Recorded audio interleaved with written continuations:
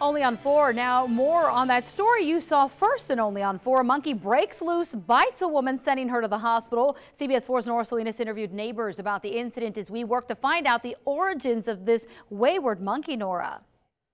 Marcy, neighbors tell me the monkey escaped from its owner's home on Wright Street in Harlingen, and it took more than one person to catch it. It's something you don't hear about every day. A monkey running loose in a residential area. It was out wild monkey gone wild.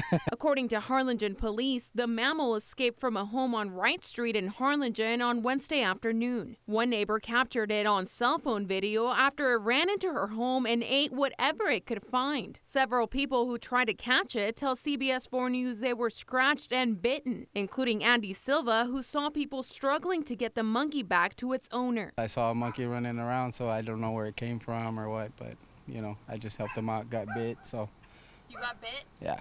Where?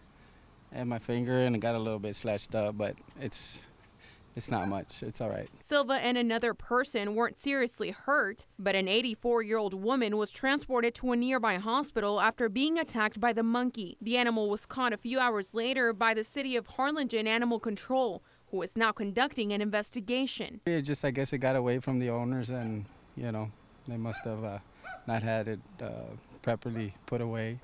So, you know.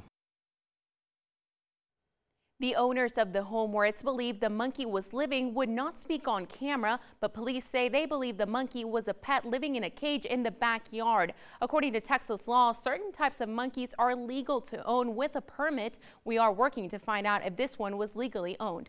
For now, it's in the custody of Harlingen's Animal Control. In the studio, Nora Salinas, CBS 4 News and ValleyCentral.com.